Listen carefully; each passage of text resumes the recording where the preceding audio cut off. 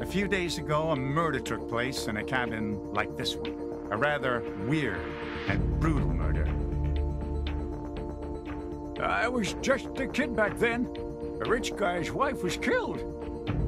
Old women used to say that it was some kind of witchcraft. Are there more ritual murders that took place here?